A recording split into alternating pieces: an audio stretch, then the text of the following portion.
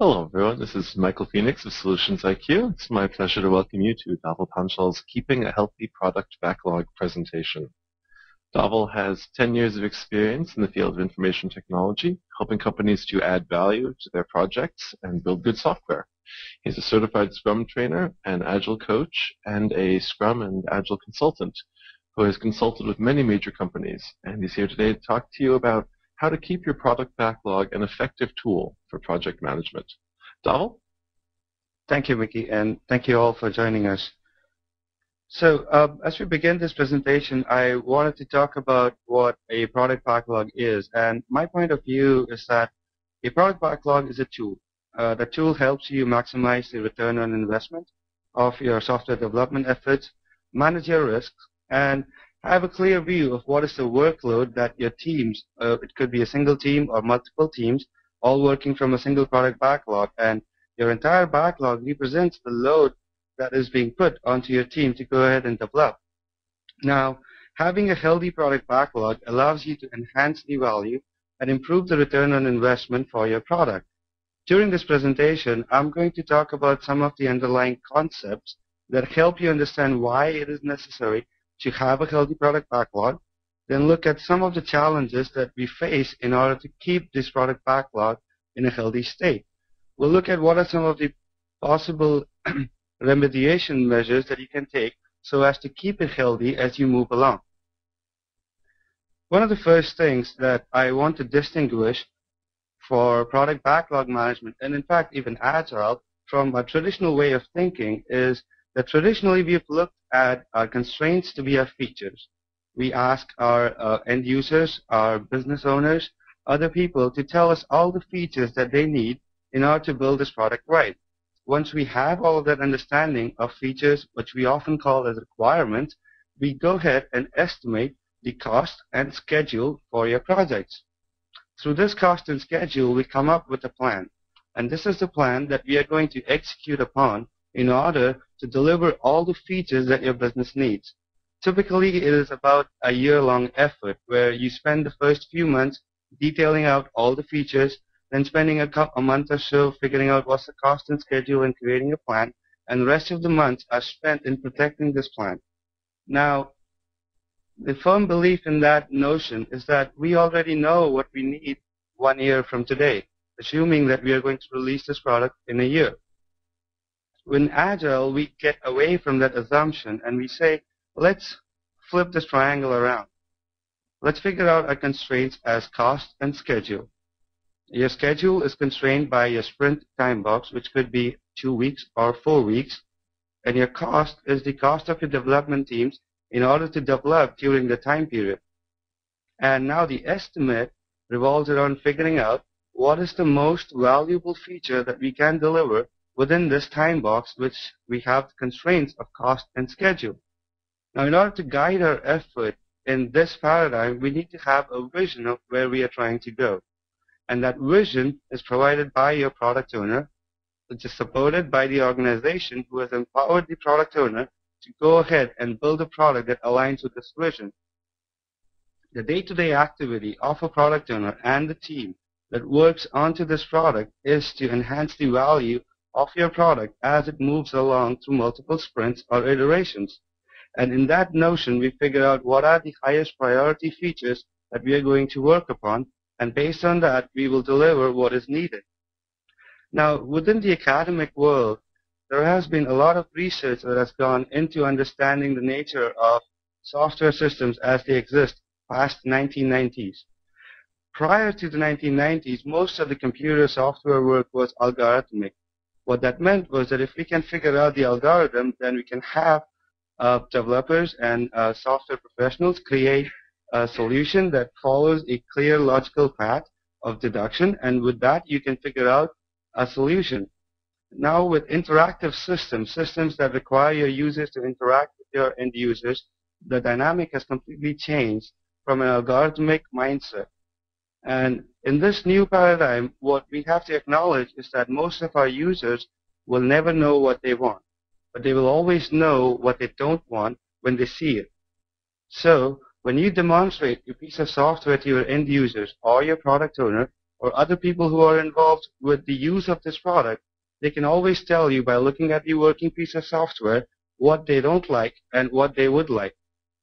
The key in new modern software development is to understand that there is always going to be an emergence of requirements, which means that thinking harder or thinking longer will not provide you with all the requirements up front.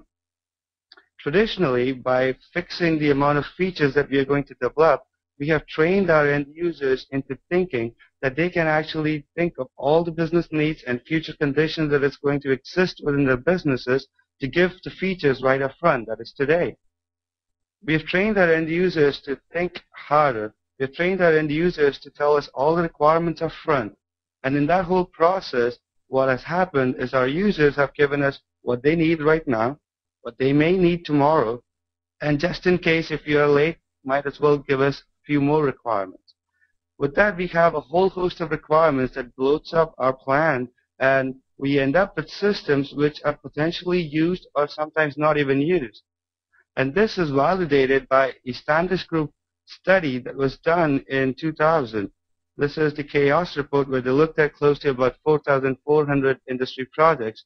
And through that, they discovered that close to 45% of all the features that are being developed into our projects are never used. That's quite a statistic.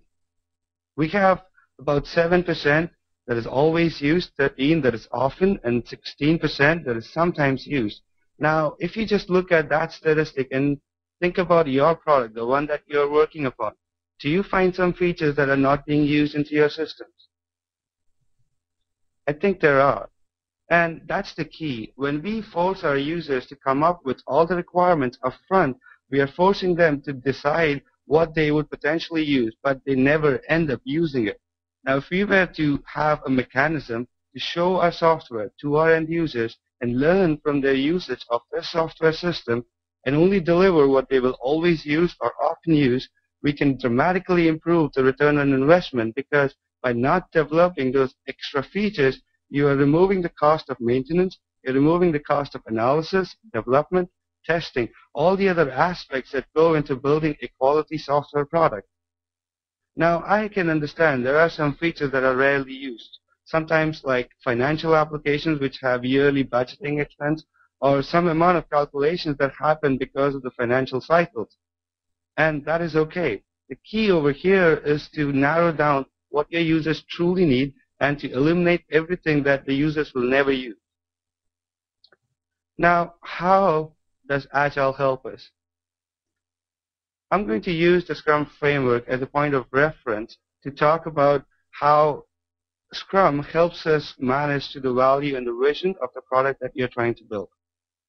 You have a product owner who is responsible to own the product backlog, prioritize the product backlog, and define the product backlog items. There is a Scrum delivery, excuse me, there's a Scrum delivery team that pulls a set of highest priority product backlog items and breaks them down into smaller sprint backlog items, which happens into your sprint planning meeting. As they move along during the iteration, which is a fixed time box, also called as a sprint, the team executes on these sprint backlog tasks in order to produce a working piece of software at the end of the iteration. They manage their work within the sprint by means of a daily stand-up meeting. At the end of your sprint you, the team demonstrates what is being delivered as piece of working software, and that is being reviewed by the product owner and also your end users and other people who have a stake into the development of this product. They provide feedback, and this feedback goes back into your product backlog by means of new product backlog items. So the whole development within the Scrum framework is about taking partial concepts, just enough to go ahead and develop within a sprint and put it back into a potentially shippable state and show it to your end users. And through this activity of reviewing with your end users, you validate whether your partial concepts were good enough. Well, if they are, then let's define a few more product backlog items that will help us solidify this feature. And if they are not, then how can we improve it? It's a constant feedback mechanism that happens on every single sprint. the core vision uh, behind having a product backlog and even within Scrum is to have your business drive your development. If you think about it, most of us think that yes, of course, business drives our development. Isn't that true? Well, sometimes it is not because we have constraints and we have levers that we have not exposed to our business, which allows our business to then be uh, dependent on what the technology folks can figure out and what they want to do.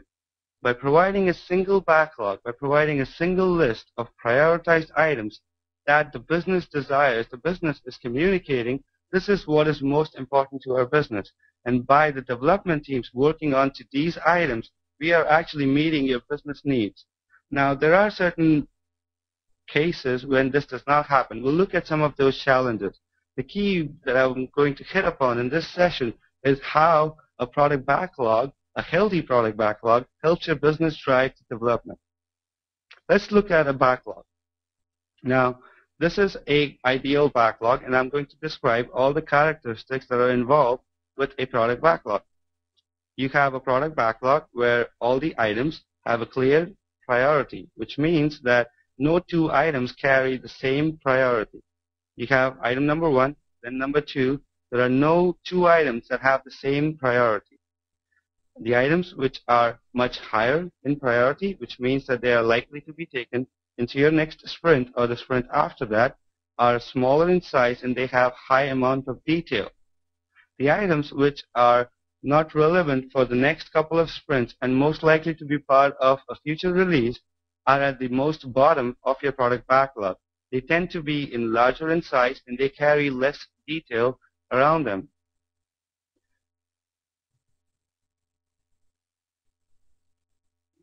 Now, in this product backlog, it is it's, it's, it's the key is to is to understand that the product backlog is not a static set of requirements. It is a dynamic piece of requirements which constantly changes. So you have some items that get reprioritized at any time. So a product owner, while the team is working on the sprint, can reprioritize and rechange the priorities within the product backlog.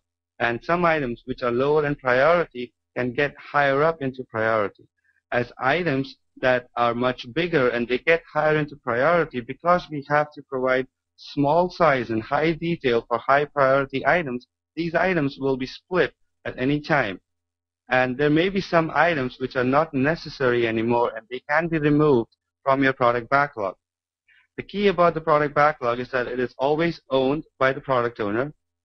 Anyone within your organization can add to the product backlog. By adding to the product backlog, the team members or the stakeholders or other people are providing a sense of what is most valuable for them into this product.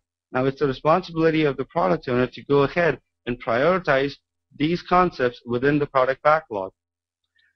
Think about a product backlog as a queue.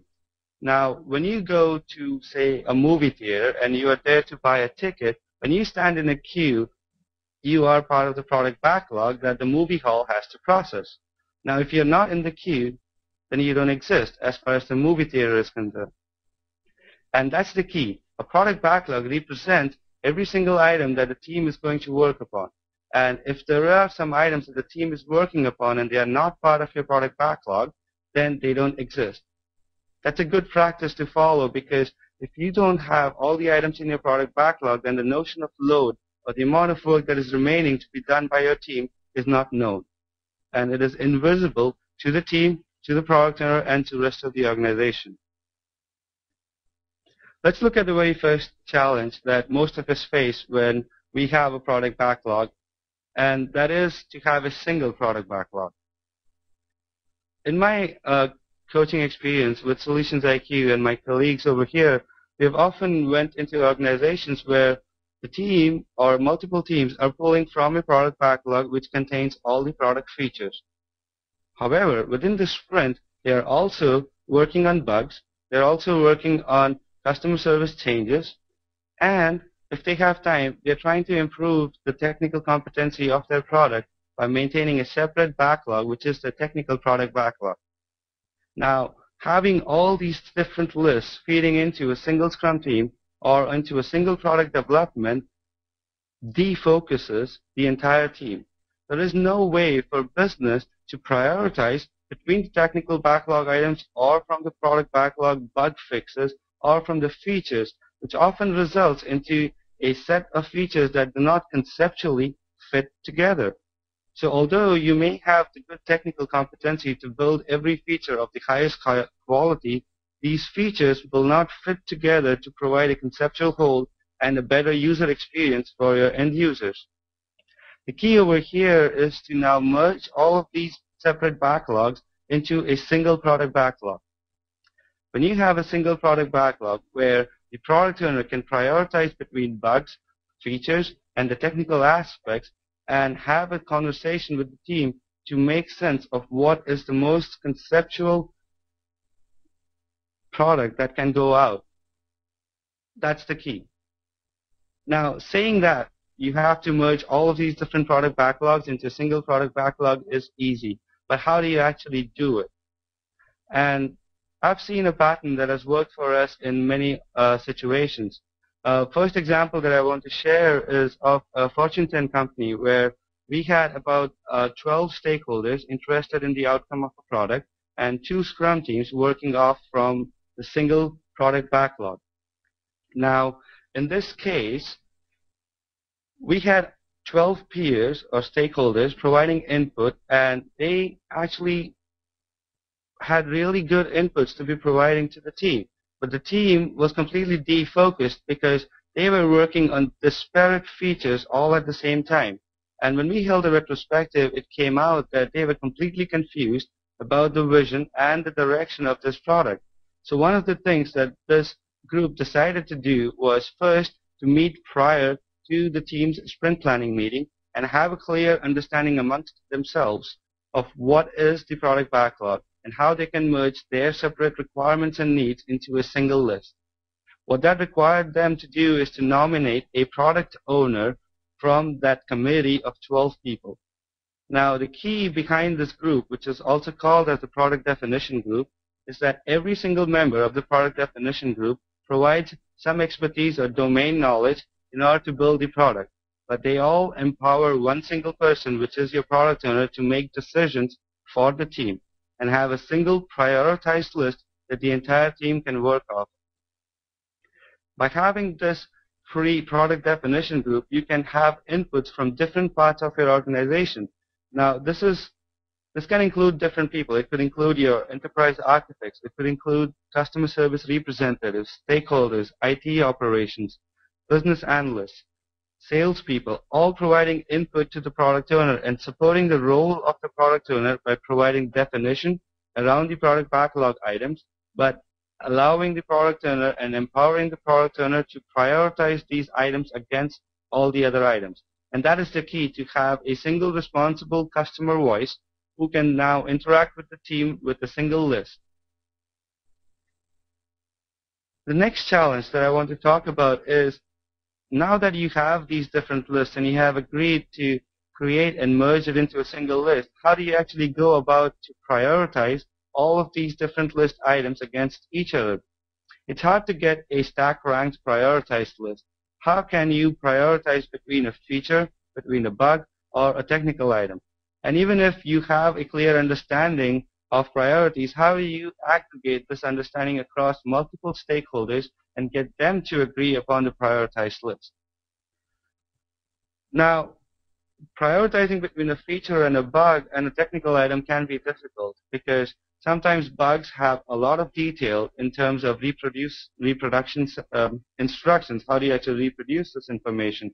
Technical items may be communicated in a way that do not really make sense for your product owner. For example, uh, we should have a database that will allow for 10,000 users. Hmm, what does that mean in business terms? Well, if you can abstract the business value of each of these separate items into something that expresses the business value that the product will provide, then there is a shot at prioritizing these different perspectives into a single product backlog. And that mechanism is called as a user story. A user story always represents a thin slice of vertical functionality that has business value to your end users. So in this case, the feature has a business value that allows you to know when to expect your package. A bug allows your customer service to receive 20 fewer calls, which can be translated into the amount of effort spent per call, and that's the business value benefit on a daily basis. By having 10,000 concurrent user requests handling, you are allowing for your software to be scalable across multiple domains and multiple people. Now, having this notion of priority that transcends uh, the individual perspectives and comes across as a business value perspective allows your product owner to say, should we add in a new feature or should we allow more users to use our existing set of features? There are other characteristics that you may want to consider when you are trying to relatively prioritize your product backlog. The business value is a primary determinant. What is the most valuable thing that we can do from a business perspective? Sometimes it's also about the cost of development. Where is it that I can get the most bang for my buck? If there is a feature that is of highest value, but it will cost you close to two or three sprints, as opposed to a feature that provides a medium range value, but it costs you only a little or half a sprint, then that's something that you may choose to prioritize just because the investment that you make in building that feature is far lower and your return on investment is higher on the on the medium value feature over the highest value feature.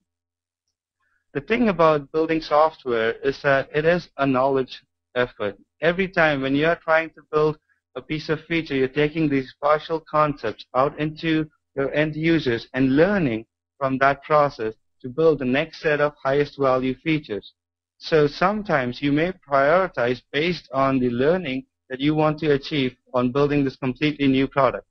There may be some uncertainties that you want to alleviate before you commit your entire product vision onto building iPhone apps, for example. How do we actually integrate with the rest of the stuff that we are trying to build within our product line? Does it actually work? Maybe one of the first things you would prioritize is to do a story that allows you to do that and learn the technical implications of building that type of feature or functionality. So there are many, many factors that come into prioritizing your product backlog. And by having a product definition group that brings in these perspectives from business side, from the architecture side, from IT operations, and even from the customer service people, you are getting all of these inputs. But how do we actually get to reconcile all of these inputs and create a single prioritized list? My first suggestion is to get all of them into a single room. And I want to talk about a technique that you can use when you have your product definition group meeting every time before the sprint planning session. This could be about two to three days or even a week before your sprint planning session to look at your product backlog and reprioritize so that the team is always pulling from the highest priority items. I call it the dot voting technique. And this technique is very simple as a product owner or even your Scrum Master can facilitate this session where all the members of your product definition group are provided with four or five dots. Take all of your product backlog items and print them out into cards or into a half a page so that they are all independently movable and place all of them onto a single wall. Now, ask all of your stakeholders or the members of the product definition group to use their dots and vote on something that is the highest priority for them. They have the option of placing all of their dots onto a single item because that is the highest priority item, or to spread it across multiple items. Now, when all the members are done with voting onto this big wall, which probably has about 50 or 60 product backlog items, you will see the items that have been voted and items that have not been voted on take all the items that have been voted and place them onto a different wall in a decreasing order of the number of points or the number of dots that they have received. So in this example, you have the first item that has five dots, the next has four, and the following one has two and one. Now this is the highest priority of the big subset of product backlog items that you have created. Now repeat this process again. Give each of your stakeholders four more dots and ask them to re-vote onto the items that have not been voted yet. If you repeat this process often enough, you can get to a list of product backlog items that has a notion of priority from all different stakeholders who are interested in the development of this product.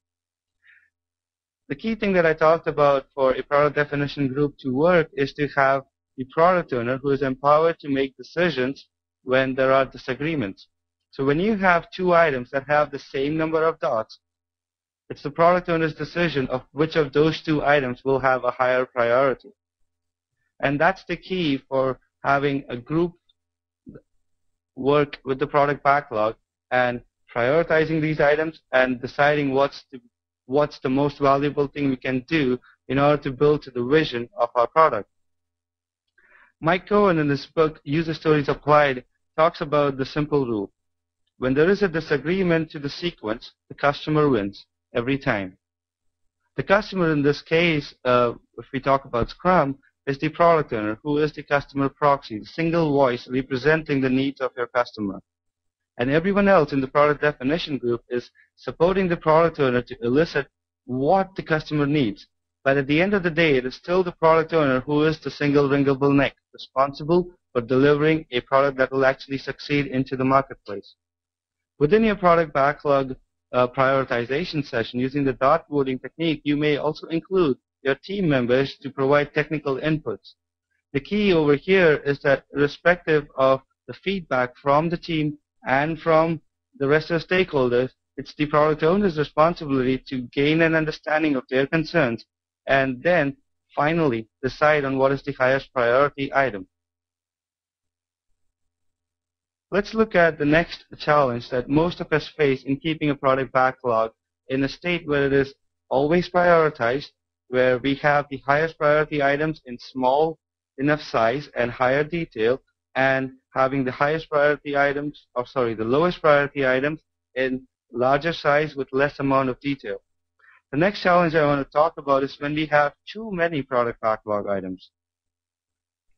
I've seen this happen in cases where uh, we have unfinished tasks or bugs that could not be completed. So you pulled in the product backlog item into your sprint and that product backlog item could not be completed by the team.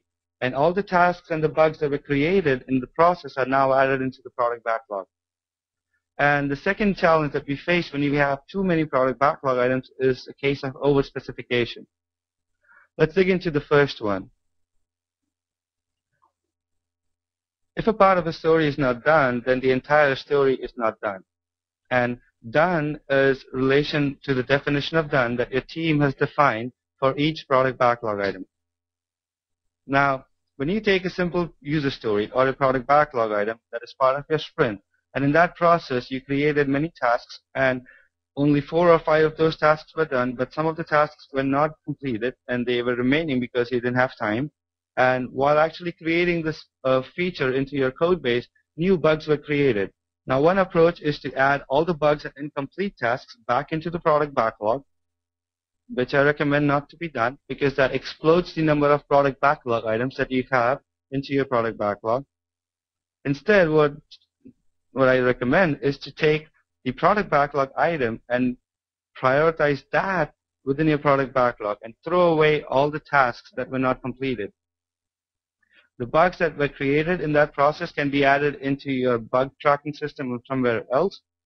But the key over here is that when the team took on to this product backlog item, they said we will build this item so that it provides a value to your end user. Now in that process, if that value or that intention is not being met, then the entire story is not being done. The next time you pick up this item to provide the same value back to your end users, you will pick up remaining tasks and the bugs that it has created to improve your product. Uh, this thing is a bit hard to catch when you actually look into a team. One of the first simplest guidelines, if you cannot physically point to two separate physical artifacts, one which is your product backlog and the second which is your sprint backlog, then I'm, my, my guess is that this is what is happening, where you have tasks that are remaining into your sprint, they seep into your product backlog, although they may be tagged as tasks, but it gets difficult because in your Excel spreadsheet now you have about 2,000 items, half of which are tasks and some of which are product backlog items. And as a product owner, if I'm looking at all of this information, so much of it so overwhelming that I cannot even look at some of the features that I've added just yesterday because they are now lost into this big list of, of rows and rows of Excel spreadsheets. So to keep it simple, only prioritize what the product backlog item is and throw away all the remaining tasks and the bugs that were created. The next challenge is of overspecification. And that goes back to the notion of uh, requirements taken as a static set of requirements. I'm going to go back to the triangle that we talked about first in our presentation. The triangle about defining all the features up front and then figuring out what the cost and schedule is. In that case, we were thinking of product backlog items as or requirements as a static set of requirements, something that would stay, stay stable for about a year or even longer. Now, in that case, we have created documentations which go close to 200 pages or so, and uh, then we create a plan around that documentation to actually go ahead and develop software. With a product backlog, you're working with a dynamic set of requirements, requirements that constantly change, requirements that are progressively refined, requirements that are not the same as you thought of one month from now. And in that notion, you cannot work with a stack of requirements and translate all of those into individual product backlog items because almost 45% of those items will never be used. So the key over here is to not is not to translate your requirements word by word or line by line from your use cases into product backlog items. The key over here is to get away from the notion where a business analyst job or someone who is providing the business domain, the traditional notion of a business analyst job is to create documentation, and that documentation will provide understanding when someone else reads it. Is the key is to get away from that notion and to get into a mindset where it's all about creating an understanding. Now, in this case, uh, the picture that I've shown is from a Fortune 10 oil and gas company, and they're building a multi-million dollar project. And they're doing it by means of having product backlog items up on the wall with the product owner and the business analyst having a conversation with the team, providing clarification for items that are going to be part of the next sprint. You see team members asking questions, making notes, adding extra description. They are not focusing on items that are further away. They are not focusing on items that are five sprints forward. They're only focusing on what is relevant for the next sprint, getting into the details of that information, and then having enough understanding to go ahead and estimate these items. So the role of a business analyst now is not to create all the understanding up front. It's actually to provide just enough information so that the development team members can go ahead and develop and to gain enough learning from the technical capability of your team to understand what could be possible in the next few sprints, and then defining those items in detail. There's a great article on a blog uh, that we post. It's called uh, The Game of Asteroids. It's been written by Thomas, who is my colleague at Solutions IQ, and he uh, equates this notion of breaking down product backlog items into a game of asteroids. I highly recommend that you take a look at this article because it talks about this little tiny spaceship that is going through a sea of asteroids and it has to break down these asteroids into small enough pieces so that they don't come and hit you and game's over. And you also have to focus your energy on only splitting the items that are in your path and ignore all those big boulders that are no longer in your path. With Agile, you're always moving and changing direction, so it's not necessary that you describe every single big feature in its entire detail. Some of them you may just whiz past and would never develop. So why spend all the effort developing those items? And I highly recommend this article because it, it it's very interesting. The next challenge I want to talk about is that the backlog is not ready for your team. It's hard to split user stories you may have a product backlog which has very few items, but when you talk to your team members, they say this item is so big, it'll take us about two to three sprints. And sometimes, when you have product backlog items, that the team does not even understand how to go ahead and what's the requirements. How do you deal with that situation? So here are some smells. A smell is something that just does not sound right. It's it's it's a thing that you don't exactly know what's the real cause for this, but you know it's not right, and there is a room for improvement. So here are some common smells. When uh, teams they start doing user stories or having requirements that are expressed in terms of business value, uh, they try to split uh, these big user stories initially along process lines. This is in alignment with the way we have always thought about software development in terms of designing it first and coding it and then testing and then documentation. So you have stories that are split along the first story is about design, second story is about coding, the third story is about test. The issue with this kind of splitting is that when even one of these stories are developed, there is no business value that is provided at the end of the development. Well, when the teams get past that uh, that that mental block, they sometimes get into this notion of building it across architectural lines, where a story is split into let's define the entire database so that we can build the set of features. Then we'll figure out the entire business tier, and if we have time, we'll get to the UI. And the issue with that is your end users do not know SQL. They do not know how to write REST clients. They understand how to use web browsing capabilities. So you need to have a UI in order in order for that feature to be usable. And sometimes when you do all of that, the big picture, the, the core value that you're trying to provide with that feature is lost. So how do we split user stories? So here are a few guidelines. Let's say you're trying to build a feature that um, provides the entire employee information up onto a, a web page. Now, one way is to figure out uh, the employee name, address, email information, and all the supporting information and building a feature that provides all information at once. If that story is too big for your team to develop, maybe you can split it across lines where the first story you develop is to fetch the employee record and only display the employee ID and the employee name. In the next story, you can beef up this feature by providing extra information like the address, like contact information and other supporting details as to how long they've been with this organization. Are they still uh, in, in line for promotion? All of these information can be beefed up over time. Sometimes you have uh, stories that can be split across operational boundaries. Maybe you are adding a new person. The feature that you're trying to build is to add a new person to the insurance plan that the company provides. Well, the first thing you can do is build a feature that allows you to read all the people who have already subscribed to this information.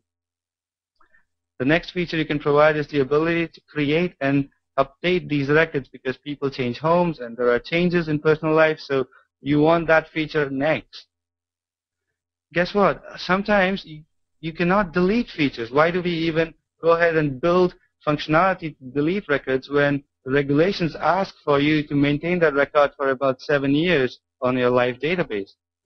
So by splitting across these operational boundaries, you can individually prioritize what you want to do.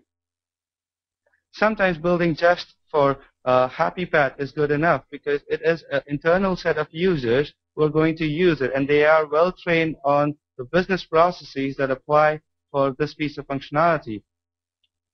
Maybe you can develop the happy path first, which takes care of almost 80% of all the scenarios, and then build on specific exception cases rather than figuring out all the what-if scenarios and building all of that together. Removing cross-cutting concerns, and that talks about uh, having a feature or a functionality such as logging or security that cuts across every single feature that you are trying to develop. Now, when you split a story in a way to remove this cross-cutting concern, like saying, let's implement a feature that only enables a logging component that can be then reused by all the features, you are splitting the story into two discrete pieces of functionality. One that provides a direct visible value to your end users, and the other that allows you to implement the logging aspect and the security aspect of your features. Now, uh, I also talked about uh, the whole software development effort as being a knowledge driven effort. And in that case, sometimes when you cannot split a big user story, it's an indicator that there is a lack of understanding.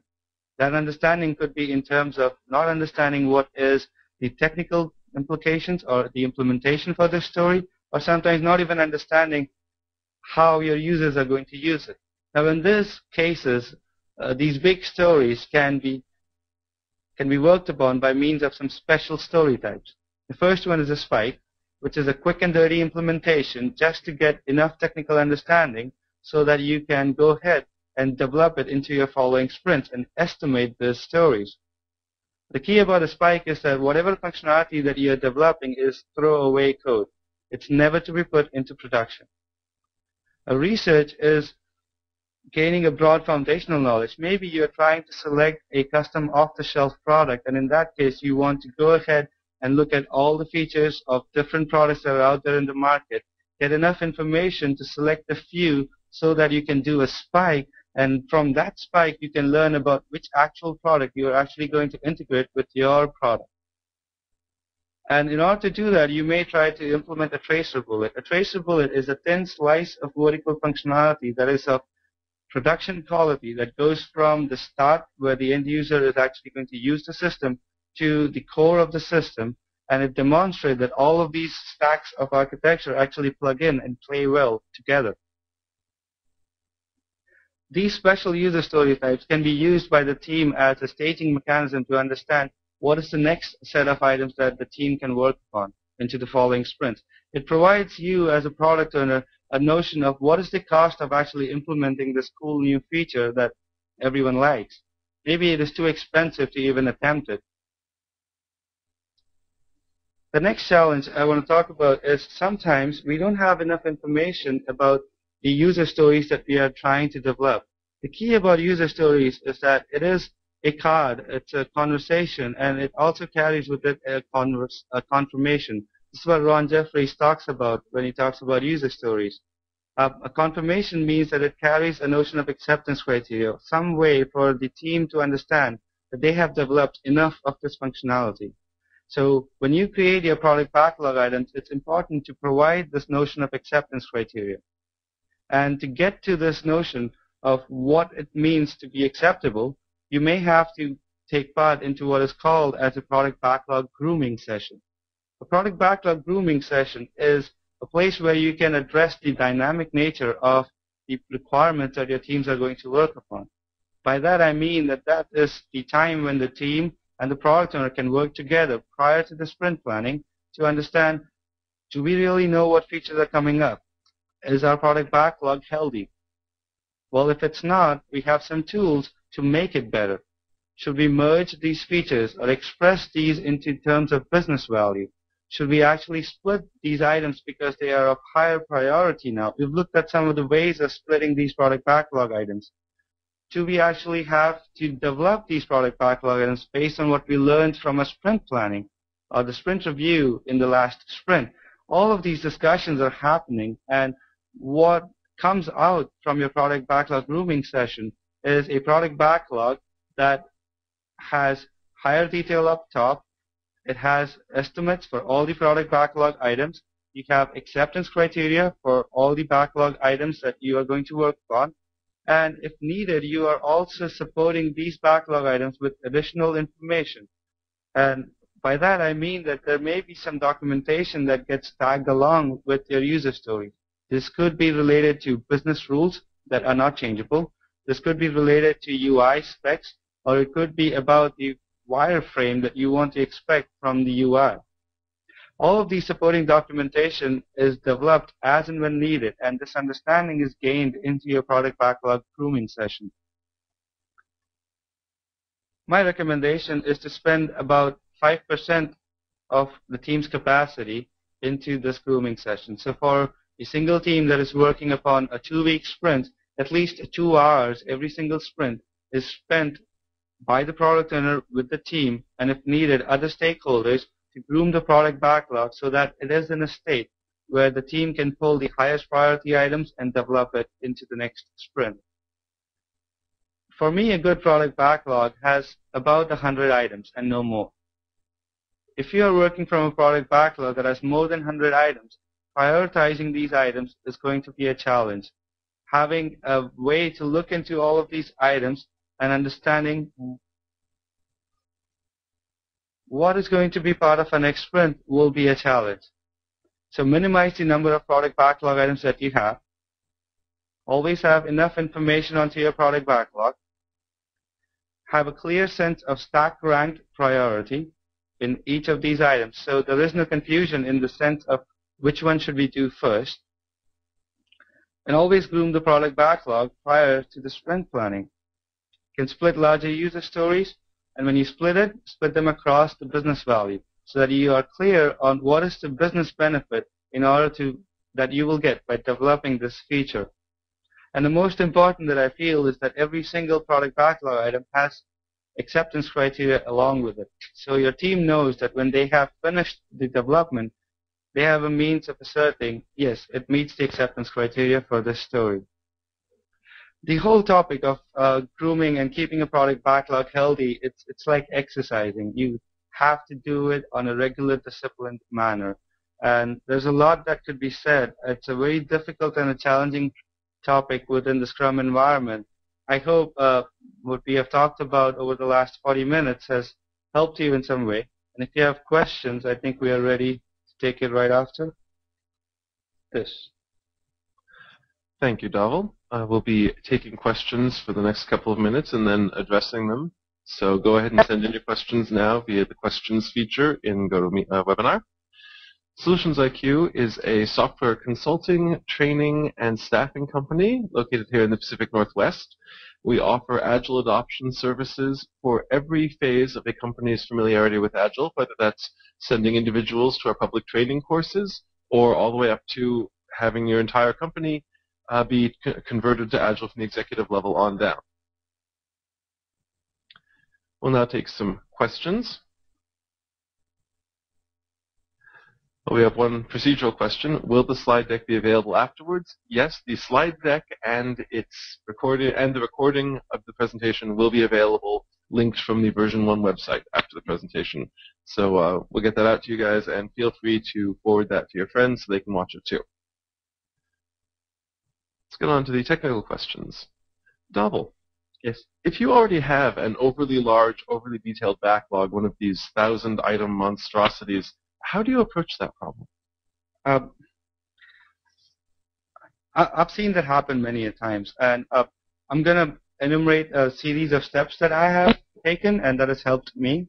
I'm sure there are many different ways of addressing this.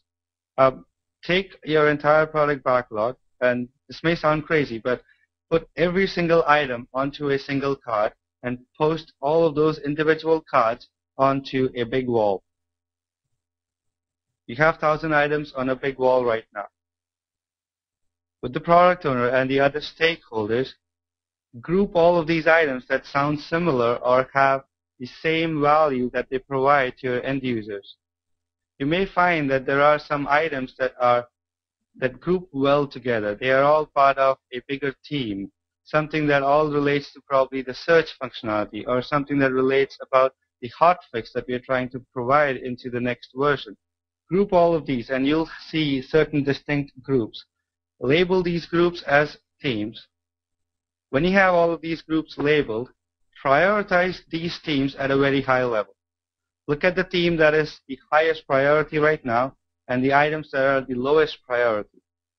The theme that is at the lowest priority, group all of them into a single product backlog item and express this theme in terms of a user story, which means that you have a clear notion of who's going to benefit if this feature is developed or this group of features is going to be developed and what's the value that this feature will provide. That is your lowest priority item that should remain at the highest level of detail and sorry, at the lowest level of detail and it should be of the largest size. Work backwards see what are the items that are not relevant for you and what's the level of detail you need to provide. Now, in this situation, you may uh, throw away some of the extra details that you have, but if you want to protect that detail, you can protect it on a on a forum that is away from your product backlog. You can protect that into a wiki. You can document it into a Word document and place it into a version control so that you can pull all of that information when needed, but you don't have to look at it right now. Does that help? That does. So group related stories together into themes and then treat the themes as the elements in the backlog. Yes. Cool. Um, so we have another question here. If the team wants to do a technical story to reduce their technical debt, right. but the product owner wants features yes. and doesn't want to invest in technical, how, how do you persuade, or how, how, do you balance those competing needs? That's a great question. Um, so I can tell you that your product owner is interested in the technical debt if you express it in a way where the product owner can understand. And that's where I talk about elevating uh, these technical debt items or even bugs or features that you want to develop to a level where they express the business value that you gain. So take, for example, uh, setting up a continuous integration environment.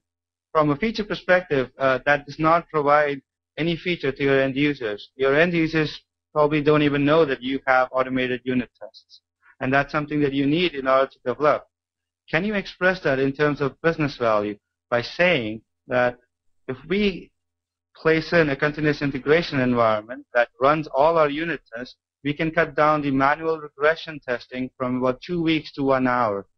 That's all the effort that you have saved just by building this new functionality into our environment that allows you to build more features in future. And that's an argument or that's a conversation that you can have with your product owner and help them understand what's the business value in order to reduce this technical debt. Uh, the thing about technical debt is that every single time, no matter how good you are, you will always know of some things that you could have done better. Now, do we actually have to fix every single thing that we think we should improve upon? Probably not. There is a business benefit to some of those and others probably not. So have that discussion with your product and express in terms of business value that your product will get and that will provide you a way to include some of the technical debt reduction items into your product backlog. Yeah, I know that Solutions IQ provides user story workshops that might help people see how to frame technical issues in a business value focus. Yes. We have another question here. Uh, how does the backlog and its relative granularity work with the roadmap in terms of communication on project completion? Uh, nice. It's a really good question. So uh, a roadmap, it's actually uh, it's an extension. It's it's beyond. Uh, Mike Cohn talks about these uh, planning onion that has uh, the organizational vision, the portfolio, and the project, and then the product backlog. There's also the notion of five levels of planning where the roadmap sits above the uh, product backlog. A roadmap is talking about the milestones that you want to achieve with your product releases the operative word here being the release. By a release, it's always a piece of functionality that is actually going to be shipped to your end users or to a select group of users. Now, reconciling your product roadmap to your product backlog means that you have defined your themes, uh, those large chunks of features that are expressed into your product roadmap. The details of those themes and what are the specific features are then further expressed in detail into your product backlog. So think of a roadmap as a higher level abstraction of the details that are captured into your product backlog. A roadmap provides just enough information for you to communicate within your organization and even outside the organization of what are the broad feature sets that we are providing. Specifics of these features will be captured into your product backlog and the exact details will be in your working software. Um, question here is, one area you didn't mention is metrics for the user stories and release planning. Do you have any recommendations? And if you don't recommend your earlier webinar on Agile metrics, I will. uh, so it was about metrics for product backlog? Metrics for user stories and release planning. Oh, oh. Um, so, um, so you okay? All product back, and this is a suggestion. Um, all product backlog items are are estimated in terms of story points. Story points is a relative measure that uh, estimates the level of effort that is involved in implementing story one as compared to story two. So if you have a story that is estimated at five points, you look at the next story and say, is it bigger than the five or is it smaller? If it's bigger, then let's call it an eight. and the steps that you take is typically a Fibonacci sequence, which has uh, the steps of 1, 2, 3, 5, 8, 13. So that's the measure that you apply to estimating your user stories. When you have a product backlog that has uh, story points for all the user stories, you can add all of these up, and you have about, say, a 100-point backlog. And your first release calls for about 50 points of the 100-point backlog to be delivered. Every single sprint, you can look at how much of your backlog is remaining in order to release.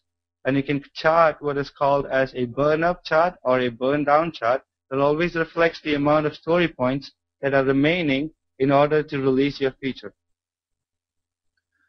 I'm going to mention that we have a previous Solutions IQ webinar uh, with VersionOne available from the VersionOne site that covers that topic of agile metrics in much greater depth. I strongly recommend that you check there to flesh out that answer more thoroughly because here Dhaval had a couple of minutes there, he had 40.